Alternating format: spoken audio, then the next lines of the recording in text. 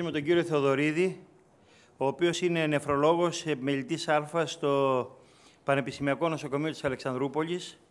Είναι εξαιρετικός συνάδελφος γιατί πέραν των άλλων ασχολείται με αυτό το κεφάλαιο. Λειτουργεί το ιατρείο της διαβητικής νεφροπάθειας στο νοσοκομείο. Έχει συγγράψει σχετικά με το θέμα. Είναι πολύ έμπειρος και πιστεύω ότι η παρουσίασή του θα είναι αξιόλογη. Ευχαριστώ για τα καλά λόγια. Κύριε, κύριε Πρόεδρε, να περάσουμε καταρχήν ε, με τις ερωτήσεις. Ας δούμε την πρώτη ερώτηση. Τι χρειάζεται να γίνει σε έναν ασθενή με διαβήτη τύπου 1, με χρονική διάρκεια διαβήτη 4 χρόνια, λευκοματουρία 1 γραμμάριο, το 24ωρο και χωρίς ενεργό ίζημα στη γενική ούρο. Να τον ξαναδούμε σε 3 με 6 μήνες, να κάνουμε βιοψία νεφρού, να ξεκινήσουμε αναστολής μετατρεπτικού ενζήμου ή να τον εντάξουμε σε εντατικοποιημένο σχήμα ενσωνοθεραπείας. Απαντήστε σας παρακαλώ.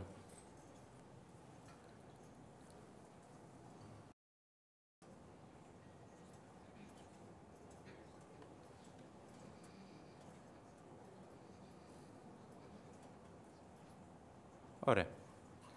Τρίτη ερώτηση. Ποια είναι η τιμή στόχος της γλυκοζηλιωμένης αιμοσφαιρίνης που σχετίζεται με αναστολή ή επιβράδυση της εξέλιξης της διαβητικής νεφροπάθειας. Κάτω από 6,5, κάτω από 7, κάτω από 7,5 ή κάτω από 8%.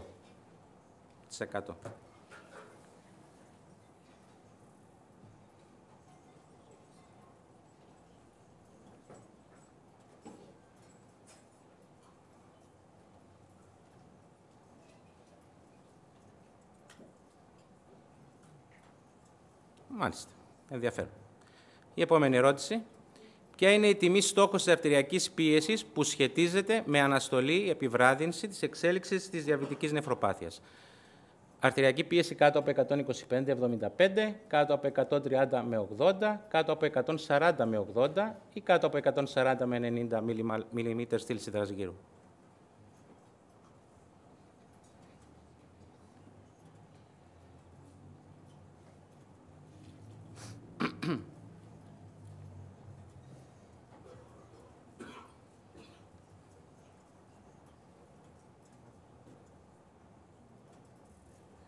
Ωραία. Για να δούμε αν μπορώ να αλλάξω κάποιες απόψεις. Το θέμα μας είναι η διαβητική νεφροπάθεια. Φυσικά και δεν έχουμε τίποτα να δηλώσουμε, δεν μας έχει μείνει τίποτα ούτως ή αλλιώς. Λοιπόν, ας δούμε ποια είναι η συχνότητα εμφάνισης διαβητικής νεφροπάθειας. Οι, διαβη... οι ασθενείς που φτάνουν στο τελικό στάδιο νεφρικής ανεπάρκειας, η πρώτη ομάδα ανήκει στο διαβήτη. Είναι η πρώτη αιτία νεφρικής ανεπάρκειας τελικού σταδίου.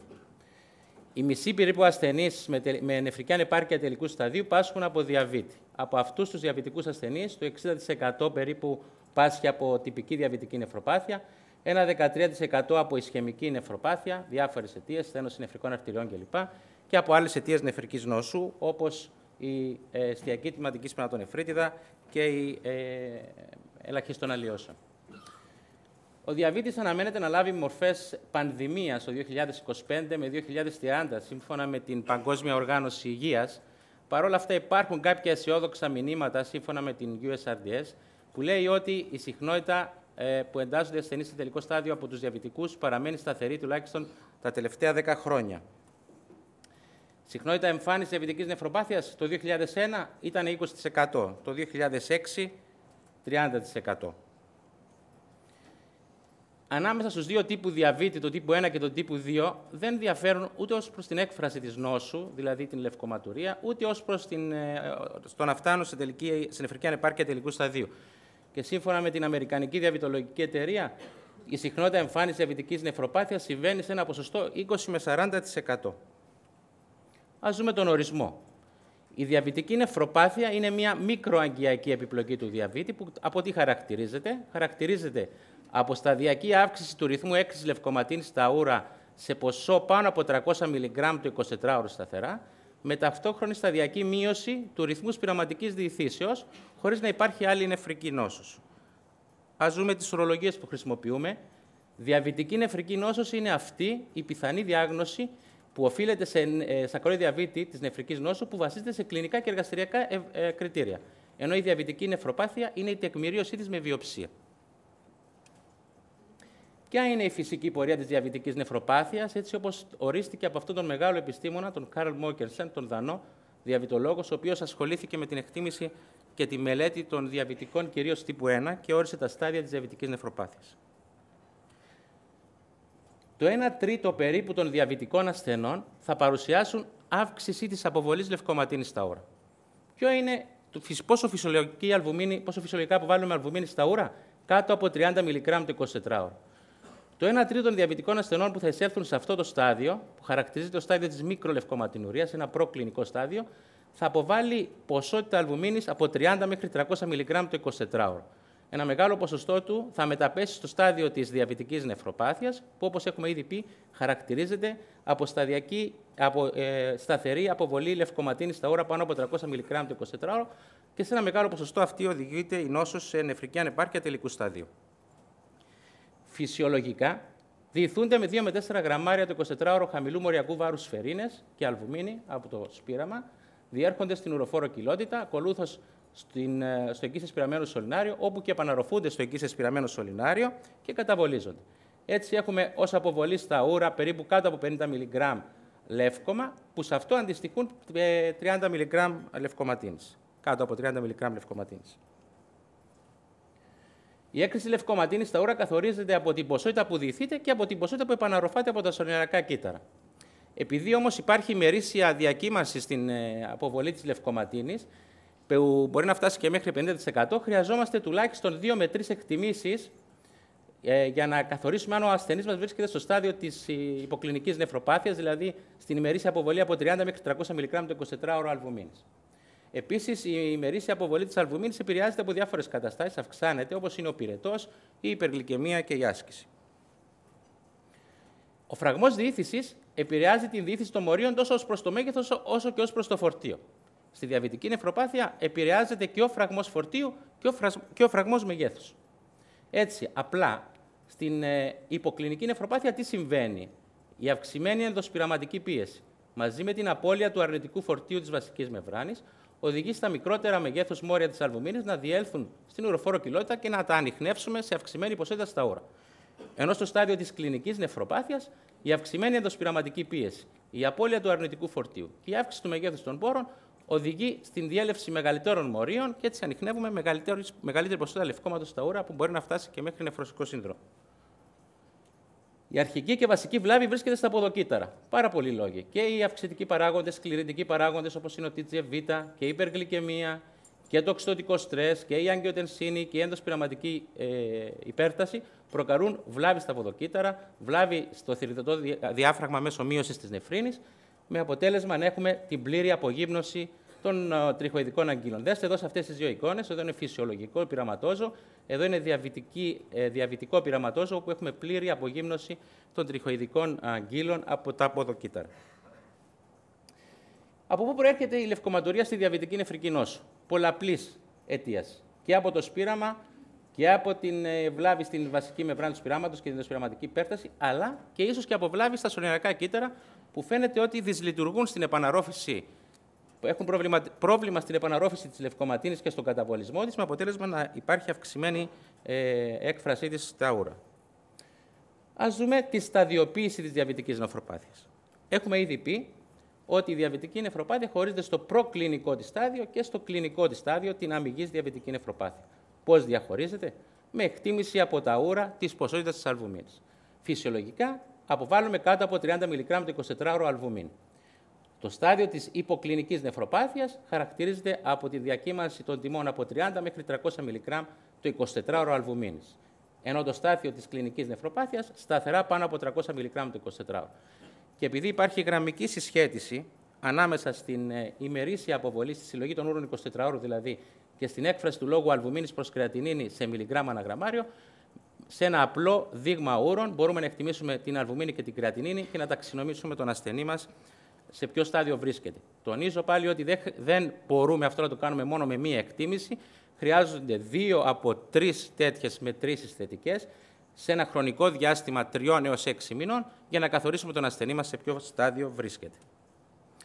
Α δούμε τι είπε ο Μόκενσεν μελετώντας τους διαβητικούς τύπου 1. Πρώτο, ότι χρειάζονται τουλάχιστον πέντε χρόνια ύπαρξης σακαρόδη διαβήτη για να αναπτυχθεί η νεφροπάθεια.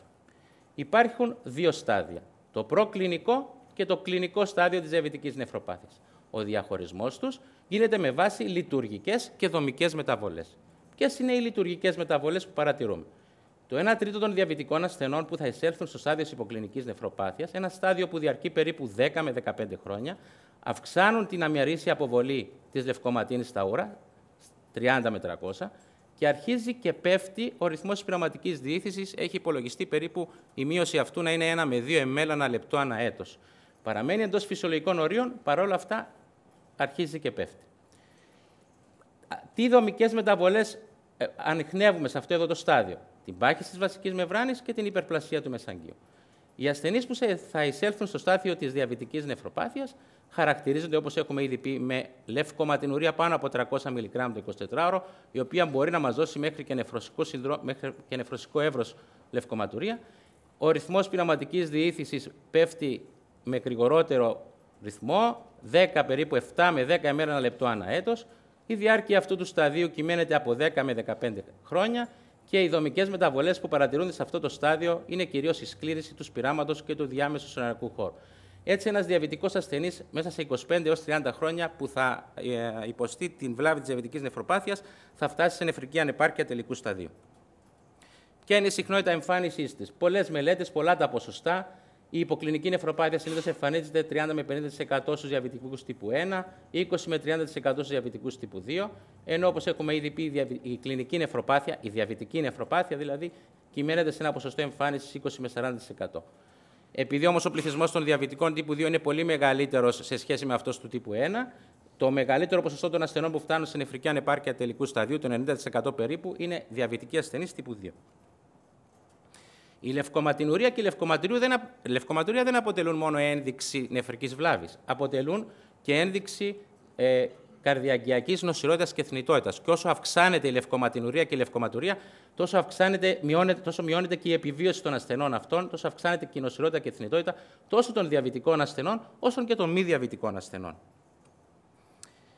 Γιατί δεν αναπτύσσουν όλοι οι διαβητικοί ασθενείς ε, νεφροπάθεια, διαβητική νεφροπάθεια; Ποιοι είναι οι παράγοντες κινδύνου; Τους τους χωρίζουμε σε δύο ομάδες.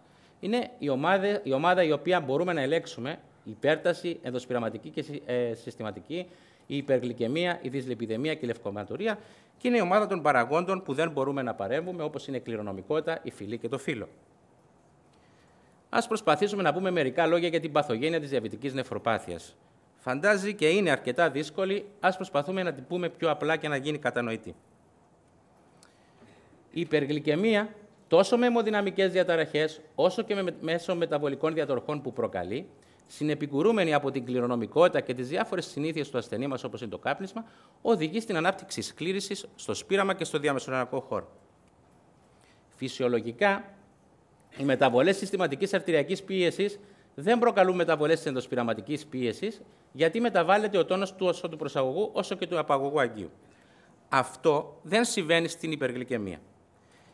Η ίδια υπεργλυκαιμία προκαλεί μια αιμοδυναμική απορρίθμιση μέσω της αγκιοδιαστολής που προκαλεί στο προσαγωγό αρτηρίδιο.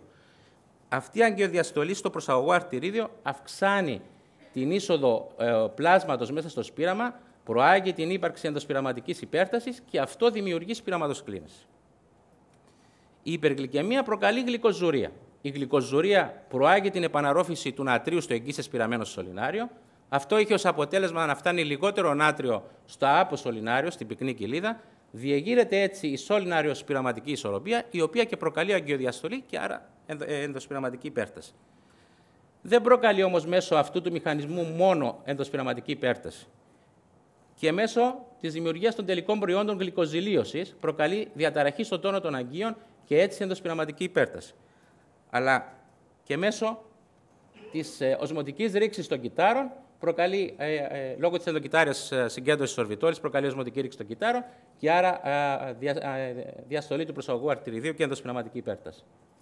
Όχι μόνο η υπερεγλυκαιμία αλλά και οι άλλοι παράγοντες που βρίσκονται αυξημένοι ως έκφραση στου διαβητικούς ασθενείς, όπως είναι ο insulin growth factor, ο transforming growth factor Β, ο vascular endothelial growth factor, όλοι αυτοί οι παράγοντες σχετίζονται με διαστολή του προσαγωγού αρτηριδίου, αλλά και άλλοι παράγοντες που βρίσκονται σε αυξημένη έκφραση, όπως η αγκιοτενσίνη, 2, η θρομποξάνη και η ενδοθυλίνη, προάγοντας την ε, σύσπαση του απαγωγού αρτηριδίου, προάγουν την ενδοσπειραματική υπέρταση και με αυτόν τον τρόπο προκαλούν μηχανικό στρες στο ενδοθήλιο, εναπόθεση πρωτεϊνών τόσο στη βασική μεμβράνη του πειράματο όσο και στο μεσάκιο, με αποτέλεσμα να ε, προάγεται η αύξηση, ε, να αυξάνεται η παραγωγή των κοιτοκινών και των ε, αυξητικών παραγόντων που σχετίζονται με τη σκλήρινση. Και δέστε αυτό το όμορφο γράφημα, πώς, βρίσκεται, πώς φαίνεται φυσιολογικά το σπήραμα, τι συμβαίνει στο διαβήτη, όπου κυριαρχεί η αγκιοδιαστολή του προσαγωγού και αγκιοσύσπαση του απαγωγού αρτηριδίου, με αποτέλεσμα την ενδοσπειραματική υπέρταση και την ενεργοποίηση όλων αυτών των αυξητικών παραγόντων μέσα, στην, ε, μέσα στο σπήραμα, αλλά επιπλέον βγαίνουν και πρωτενε μέσα στην ορφόρο και στο σωληνάριο, αυξάνεται η επαναρρόφηση τους από τα σωληναρικά κύτταρα και εδώ ενεργοποιείται η σκλήρυνση και η φλεγμονή. Πώς λύνεται όλος αυτός ο φαύλος κύκλος, προκαλώντας διαστολή στο απαγωγό αρτηρίδιο, μέσω καταστολής του άξονα αρνίνη αγκιοτενσίνης αλδοστερόνης, χρησιμοποιώντας φάρμακα όπως είναι η α και η ΑΡΠ. Α δούμε ποιος είναι ο ρόλος του συστήματος ρενίνης αγκιοτενσίνης αλδοστερόνης στην παθογένεια της διαβητικής νεφροπάθειας. Καταρχήν είναι οι αιμοδυναμικές επιδράσεις της αγκιοτενσίνης, όπως αυτή έχει συσχετιστεί με την έντοσπειραματική και τη συστηματική αρτηριακή πίεση. Είναι οι μη αιμοδυναμικές επιδράσεις της αγκιοτενσίνη. Η αγκιοτενσίνη φαίνεται ότι έχει συσχετιστεί τόσο με την υπερπλασία του μεσαγγείου, όσο και με αυξημένη σύνθεση κοιτοκινών και αυξητικών παραγόντων και κυρίως του Transforming Growth Factor Β, ο οποίος έχει σχετιστεί με, την, με τις κλίνες. Στο σύστημα ρενίνη αγκιοτενσίνη αλδοστερόνης δεν υπάρχει μόνο η αγκιοτενσίνη, υπάρχει και η αλδοστερόνη. Και η αλδοστερόνη σχετίζεται με την υπέρταση μέσω της κατακράτησης νατρίου και νερού, αλλά καθώ ε, επίσης έχει συσχετιστεί και με την αυξημένη σύνθεση κολαγόνου και την ανάπτυξη ίνωσης. Δέστε αυτό το παράδειγμα, όπου είναι ένα, ένα νεκροτομικό έβριμα από έναν ασθενή ο οποίος στον ένα νεφρό έχει αλλοιώσεις διαβητικής νεφροπάθειας, ενώ δεν υπάρχει καμία αλλοιώση στον άλλο νεφρό.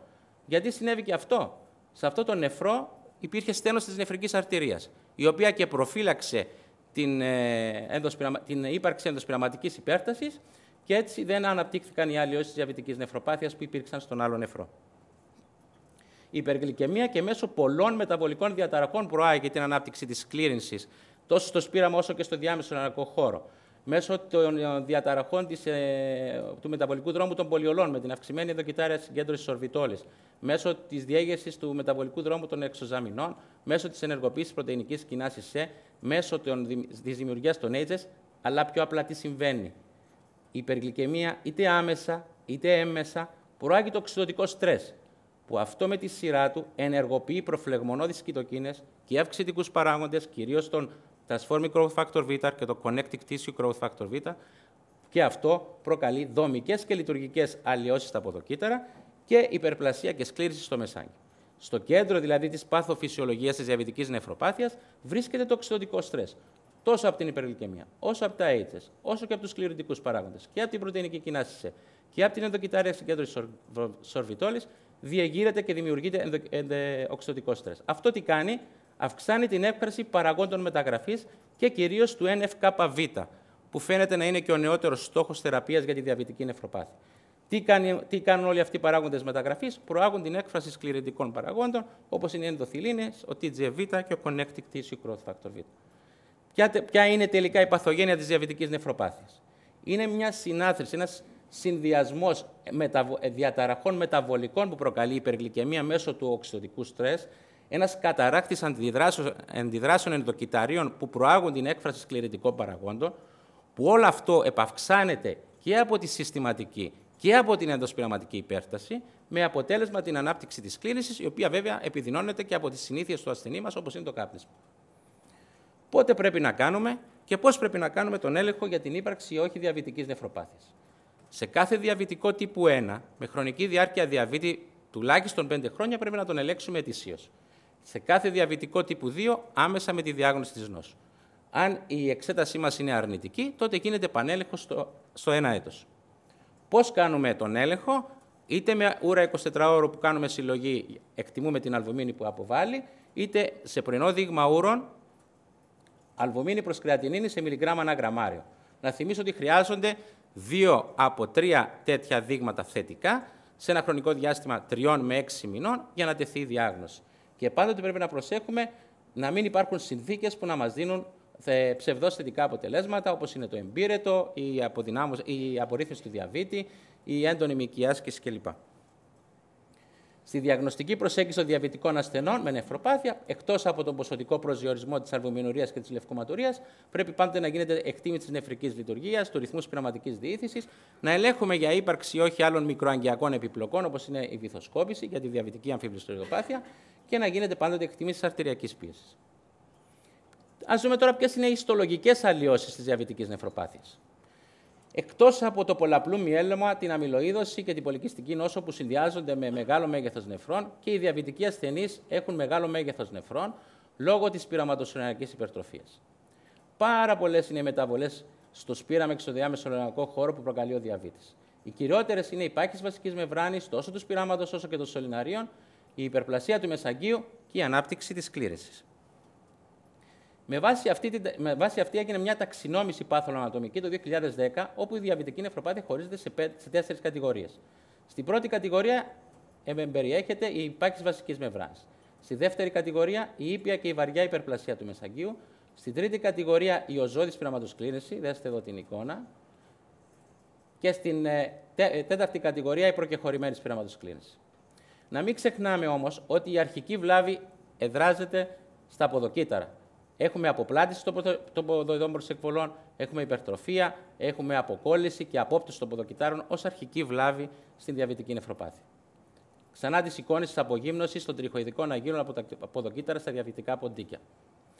Δέστε σχηματικά πώς φαίνονται φυσιολογικά οι τριχοειδικές αγγείλες με το μεσάγγιο, τα ενδοθυλιακά κύτταρα, τη βασική μεμβράνη και τα ποδοκύτταρα.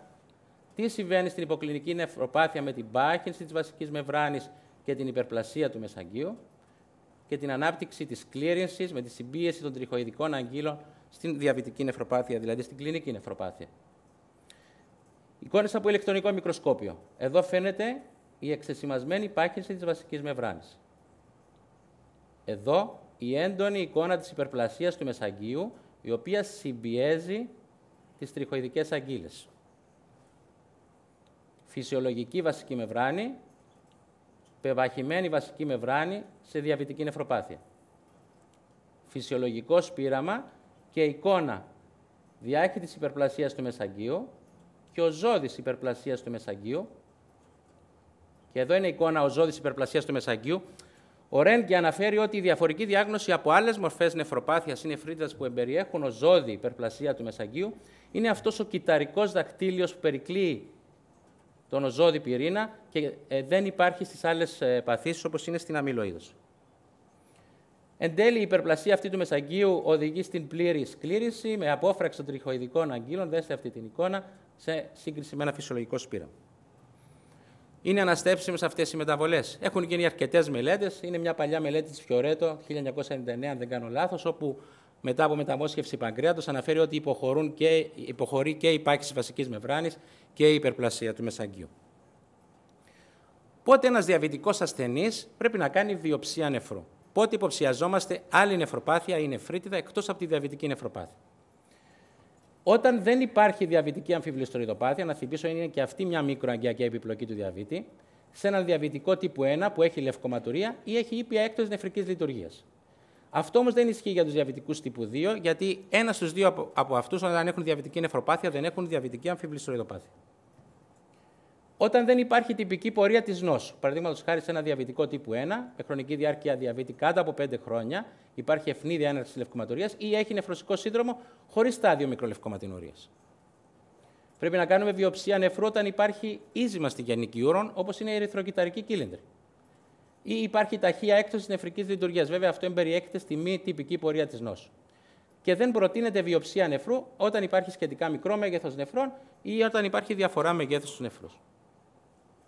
Ποια είναι τα μέτρα για την πρόληψη και τη θεραπεία της διαβητικής νεφροπάθειας; Είναι ο καλός γλυκαιμικός έλεγχος, είναι ο έλεγχος της συστηματικής και της ενδοσπειραματικής πίεσης, είναι ο, η, ο περιορισμένο, το, η λήψη ελεγχόμενη λευκόματος στη διατροφή, περιορισμός του λευκόματος στη διατροφή, θα πούμε για ποιο λόγο. Είναι ο έλεγχος των λιπιδίων και η αλλαγή του τρόπου ζωής με μείωση του σωματικού βάρους, διακοπή του καπνίσματος, άθληση. Ποιος είναι ο στόχος για την ευγλυκαιμία. Ο στόχος για την ευγλυκαιμία είναι η γλυκοζηλιωμένη αιμοσφαιρίνη κάτω από 7%. Πολλές μελέτες, μεγάλες μελέτες, η DCCT, η UKPDS, έδειξαν ότι η γλυκοζηλιωμένη αιμοσφαιρίνη κάτω από 7% συνδυάζεται με μείωση της συχνότητας εμφάνισης της υποκλινικής νεφροπάθειας και μείωση της εξέλιξης προς το στάδιο διαβητικής νεφροπάθεια. Και αυτά, αυτή είναι η μελέτη DCCT, όπου με την, με την εντατικοποιημένη σωνοθεραπεία έχουν, έδειξαν ότι μειώθηκε και η λευκοματινουρία και η λευκοματουρία. Αυτό προτείνει και η Αμερικανική Διαβητολογική Εταιρεία το 2012, Απρίλιο του 2012, ο γλυκαιμικός στόχος κάτω από 7%. Βέβαια, πάντα πρέπει να υπάρχει εξατομίκευση. Τι σημαίνει εξατομίκευση; Μπορεί να έχουμε και κάτω από 7% και κάτω από 6,5% σε νέους, αλλά μπορεί να, να θεωρούμε και σωστό πάνω από 7%, δηλαδή είναι 7,5 με 8, στα ηλικιωμένα άτομα ή σε άτομα με συνοσυρότητα, όπως είναι χρόνια νεφρική νόσος, και πάντοτε πρέπει να λαμβάνουμε υπόψη να μην συμβαίνει υπογλυκαιμία. Με τις μπλε μπάρες φαίνεται η θετική επίδραση του καλού γλυκαιμικού ελέγχου στην πρόληψη των μικρό και των μακροαγκιακών επιπλοκών του διαβήτη. Με τις κίτρινες μπάρες φαίνεται εξίσου ίσως και καλύτερη δράση στη μείωση των μικρο και των μακροαγκιακών επιπλοκών του διαβήτη από τη ρύθμιση αρτηριακής πίεσης. Ποια είναι τα επίπεδα στόχους για την αρτηριακή πίεση και ποια η καταλληλότερη αντιπερστασική αγωγή; Πολλές διεθνείς οδηγίες αναφέρουν ότι η αρτηριακή πίεση για τους διαβητικούς ασθενείς πρέπει να είναι κάτω από 130 με 80 και όταν έχουν λευκοματουρία πάνω από, 100, από ένα γραμμάριο να είναι κάτω από 125-75, γεγονός που επιβεβαιώνει και η Αμερικανική Διαβητολογική Εταιρεία πρόσφατα το 2012, συστολική κάτω από 130, διαστολική κάτω από, κάτω από 80. Όσο χαμηλότερη είναι η αρτηριακή πίεση, τόσο, μειώνεται και ο ρυθμο, τόσο ε, μικρότερος είναι και ο ρυθμός μείωσης του ρυθμού πειραματικής διήθησης.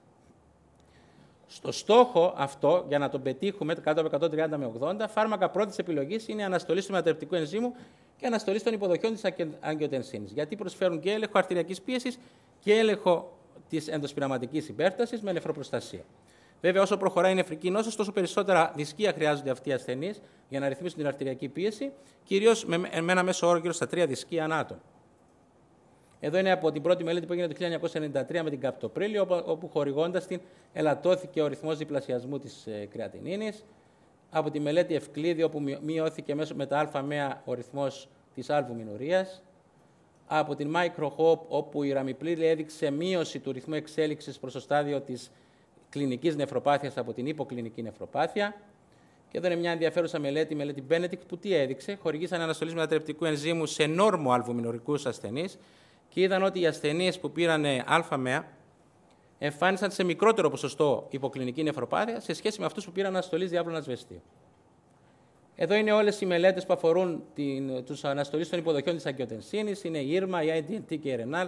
Έδειξαν ελάττωση μείωση του ρυθμού εξέλιξης προς το στάδιο της ε, διαβητικής νεφροπάθειας από την υποκλινική, καθώς επίσης και επιβράδυση του ρυθμού εξέλιξης προς την νεφρική ανεπάρκεια τελικού σταδίου.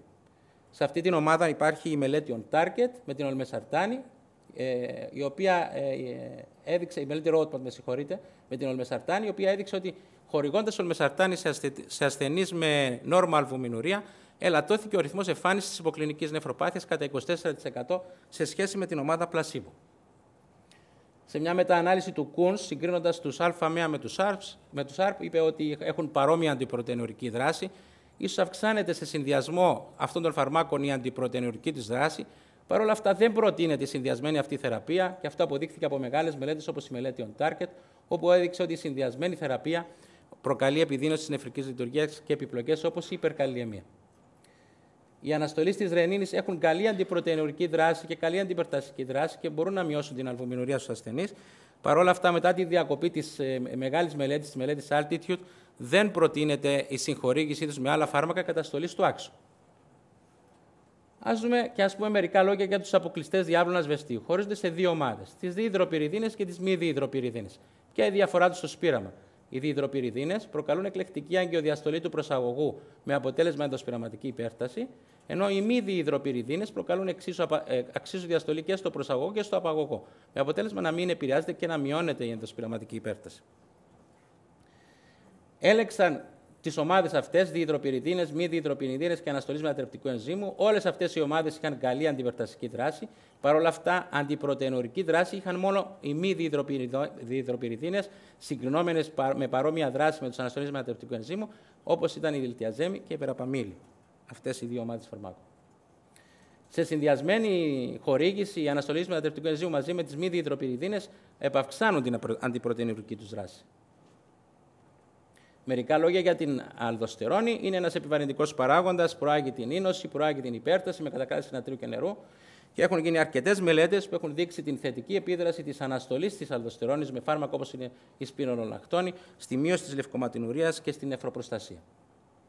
Προτείνουμε πάντοτε τροποποίηση του, των ε, συνηθιών ζωής τους, όπως είναι η άθληση και το κάπνισμα, και λίγα λόγια για την ε, ελεγχόμενη πρόσληψη πρωτεϊνών. Προτείνεται 0,8 με 1 γραμμάριο ανά κιλόβαρο σώματος. Για ποιο λόγο το δίνουμε αυτό, Γιατί έτσι όπως η γλυκόζη προάγει την ε, επαναρρόφηση στο εγγύη πειραμένο σωληνάριο, έτσι και τα μηνοξέα επαναρροφούνται με νάτριο στο εγγύη πειραμένο σωληνάριο, με αποτέλεσμα να φτάνει λιγότερη ποσότητα νατρίου στο, στον άπο νεφρόνα και να διεγείρεται η σώνιανο-πειραματική ισορροπία και να προάγουμε έτσι την αγκιοδιαστολή του προσαγωγού και την ενδοσπειραματική υπέρταση.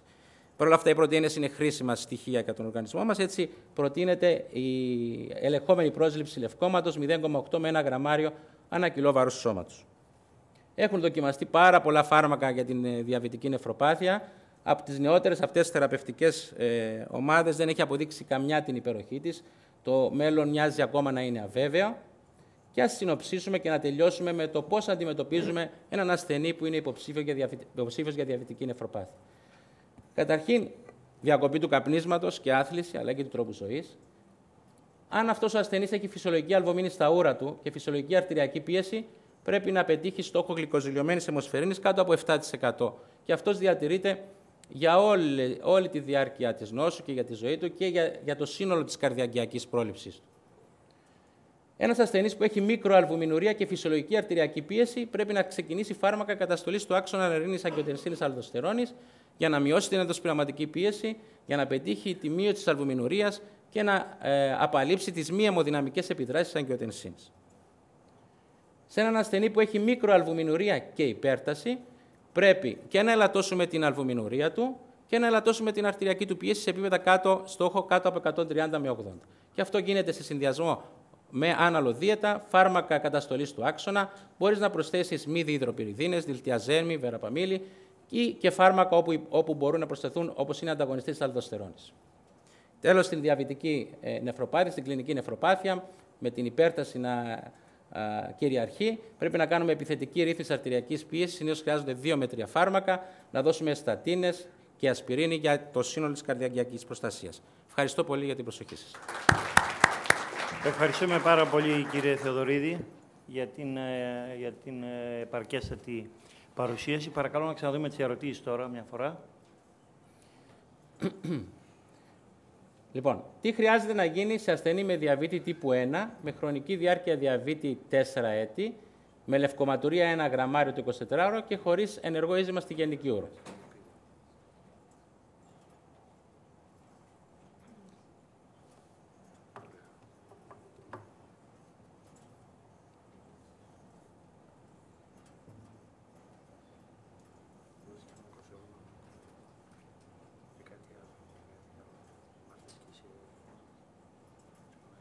Μάλιστα.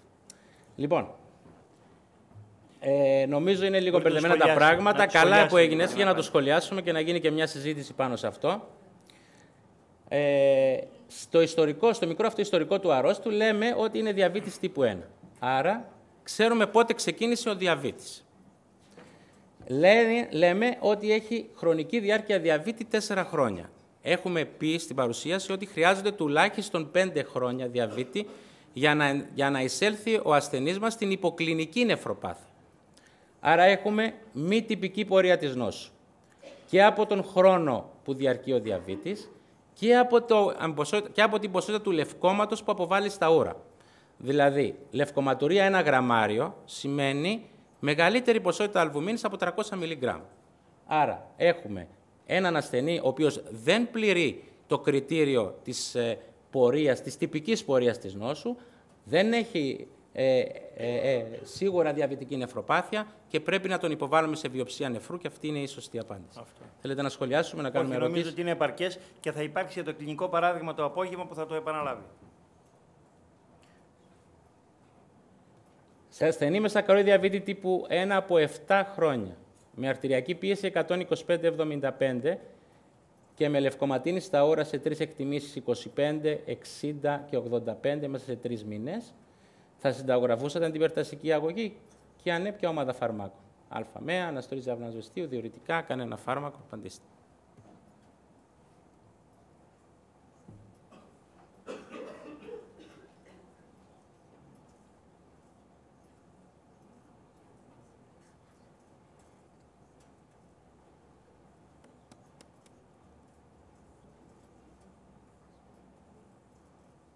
Ναι. Ε, σωστή είναι η απάντηση στον αστρονομία μετατρεπτικού ενζήμου και ο λόγος είναι όχι για να ελέγξουμε την υπέρταση, αλλά για να ελέγξουμε την ενδοσπειραματική υπέρταση. Ποια είναι η τιμή στόχου στις γλυκοζηλιωμένες αιμοσφαιρίνες που σχετίζεται με αναστολή επιβράδυση της εξέλιξης διαβητικής νευροπάθειας, κάτω από 6,5, 7, 7,5, 8.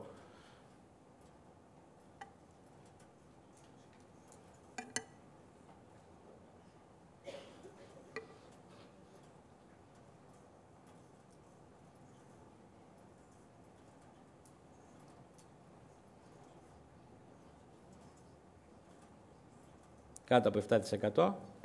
Σωστή απάντηση. Και τελευταία ερώτηση. Ποια είναι η τιμή στόχος αρτηριακής πίεσης που σχετίζεται με αναστολή επιβράδυση της εξέλιξης διαβητική νευροπάθειας; Απαντήστε.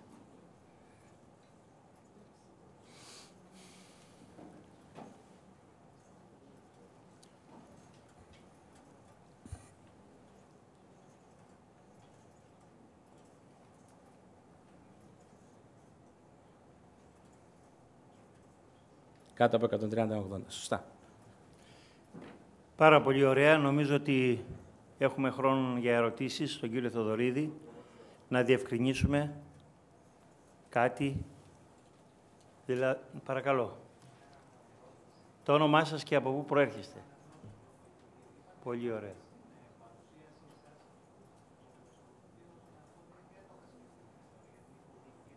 Δεν ακούγεστε. Ναι. Και ήθελα να ρωτήσω εάν υπάρχει ρόλος της φωτοσυντικών επεισοδίων υπογλυκαιμία σε έναν ασθενή ο οποίος να είναι κακή ρύθμιση του προφανώς overtreatment με ενδεχόμενη επιδείνωση και της συμμετρική λειτουργία. Υπάρχει βάση. Η, η υπογλυκαιμία έχει συμπεριληφθεί στις ε, τελευταίες οδηγίες Αμερικανικής Διαβητολογικής Εταιρείας ως ένας ανεξάρτητος παράγον ε, συνοσυρότητας στους διαβητικούς ασθενείς. Και την έχουν ε, συμπεριλάβει μαζί με την επίτευξη των στόχων ρύθμισης της γλυκόζης, γλυκοζηλιωμένη, ακριβώς γιατί επηρεάζει γενικώς τις μέρες νοσηλείας και το σύνολο της παθολογίας των διαβητικών. Δεν έχει αναφερθεί να επηρεάζει το ρυθμό εξέλιξης της νεφροπάθειας του Παρ' όλα αυτά όμως αποτελεί, επειδή ο διαβητικός ασθενής δεν είναι μόνο νεφροπαθής, είναι παναγκιοπαθής, πρέπει να τον εκτιμούμε ως το σύνολό του και όχι ως προς, το, ως, ως προς την μέρους παθής.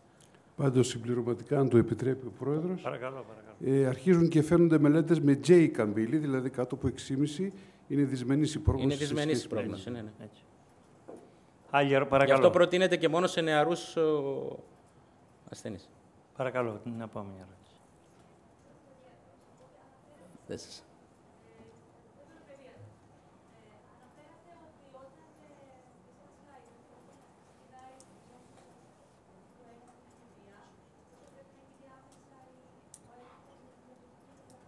Ναι. Όχι, γνωρίζω μόνο μέχρι την εφηβεία, ο οποίος είναι ανεξάρτητος παράγοντας και πρέπει να γίνει άμεσα. Δεν, εκεί δεν, δεν μπαίνουμε στο χρονικό όριο των 5 ετών. Είναι με βάση τις οδηγίες του 2007 αυτό. Δεν υπάρχει κάτι για τα παιδιά αντίστοιχο, τουλάχιστον εις γνώση. Άλλη ερώτηση. Δηλαδή, κύριε Θεοδωρίδη, ε, αν μπορούσαμε να κρατήσουμε δύο όλα σημαντικά, αλλά θα έλεγα ότι επειδή ο πληθυσμός των διαβητικών με ταυτόχρονη ύπαρξη διαβητικής νευροπάθειας που ασχολείστε και εσείς στα εξωτερικά εταιρεία και πιστεύω όλοι οι συνάδελφοι, είναι ένας πληθυσμός μέσης ηλικίας πάνω από 60 χρόνια.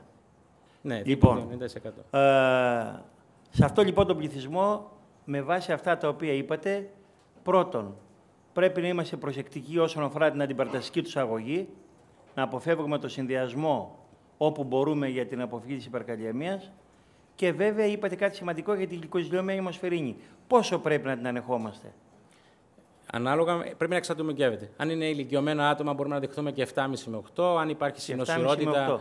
ναι, και υπάρχει χρόνια νεφρική νόσο, σαφώς είναι μεγαλύτερος ο στόχος. Μάλιστα. Άρα λοιπόν να είμαστε λίγο ελαστικοί σε αυτά τα άτομα γιατί προέχει η ποιότητα ζωής Ναι, ναι, έτσι, εξατομίκευση. και όχι το νούμερο της γλυκοζηλιωμένης.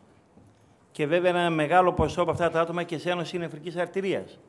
Έτσι λοιπόν να ελέγχουμε μετά την έναρξη χορήγησης ιδίως φαρμάκων του άξονα τι συμβαίνει σε ένα χρονικό διάστημα αρκετά κοντά στην έναρξη της αγωγής. Άλλη ερώτηση. Αν όχι να προχωρήσουμε στην επόμενη. Ευχαριστούμε.